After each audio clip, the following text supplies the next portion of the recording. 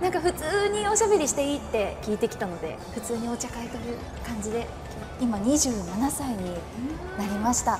それが声優が2015年で今2021年なのでもう6歳前だったと。